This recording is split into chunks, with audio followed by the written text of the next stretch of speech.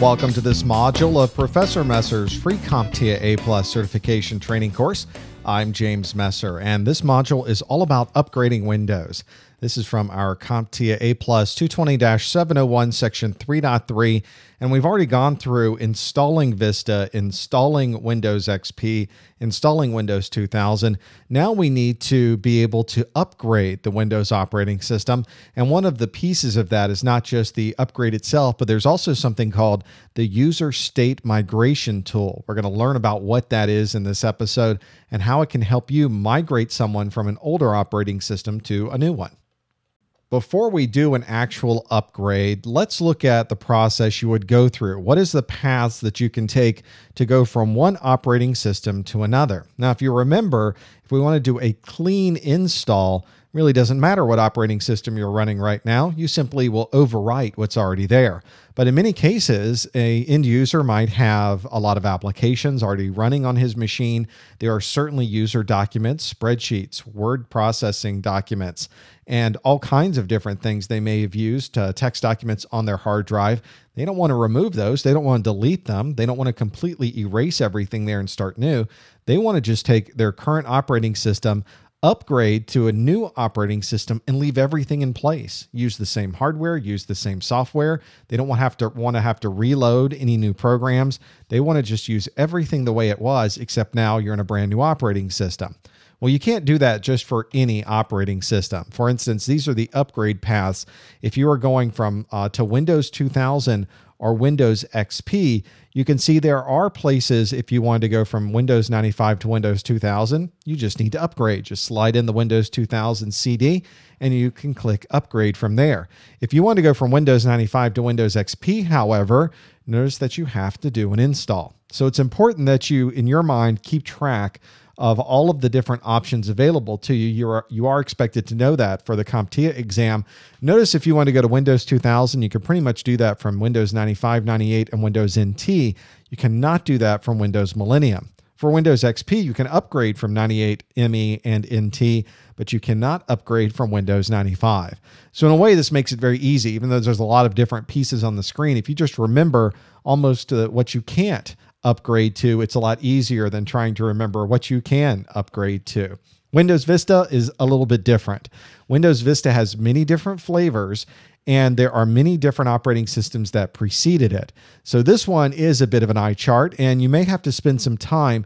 Fortunately, there are some things that are universal here. So a lot that's on the screen we can already get rid of or take out of our mind. For instance, Windows 2000, if you wanted to go to anything Vista, that's too bad. You can't upgrade. You must install. So already we can take Windows 2000 right off the table. Also, Windows XP Professional, the 64 bit version, there is no upgrade path to any of these Vista versions. So you must install completely from a fresh install for those.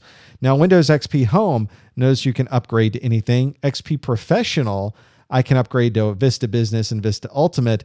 And Media Center, only Vista Home Premium and Vista Ultimate. And in many ways, this makes sense. We know that XP Home is sort of the entry level Windows XP, so it makes sense that I'd be able to upgrade to anything Windows Vista. Now, Windows XP Professional was not the Windows XP Home.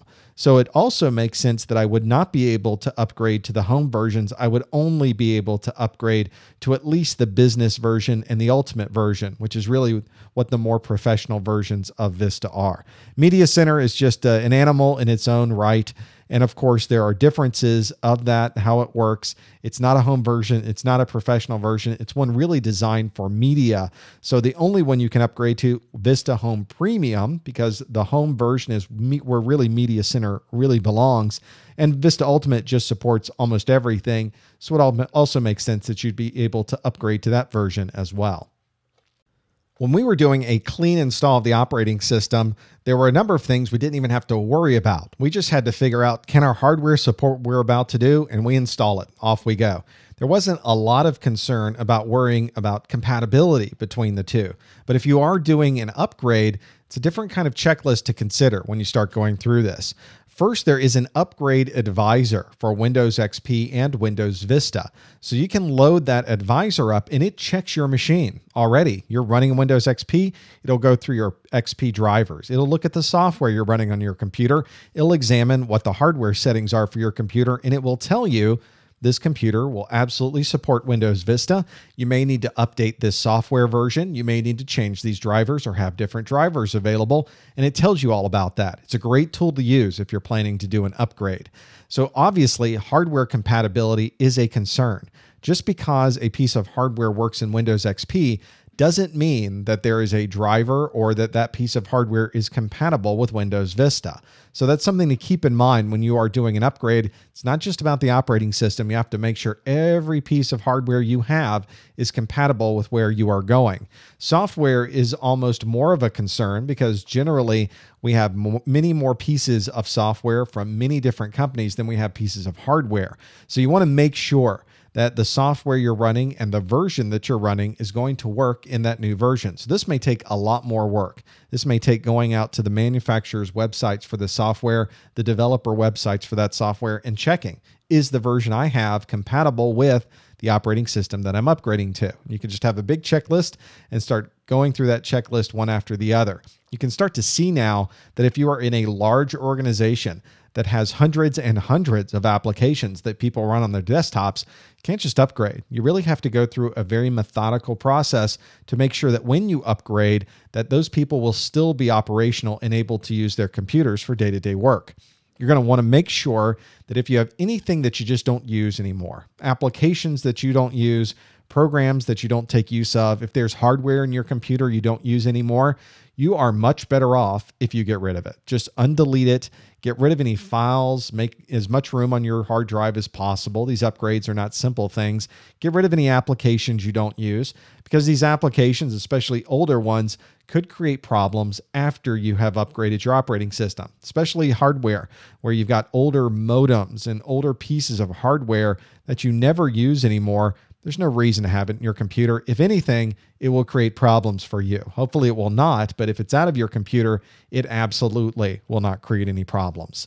This one is important, especially considering the type of security that we have on our computers these days. Get rid of your antivirus, disable it, have it have it sitting standby.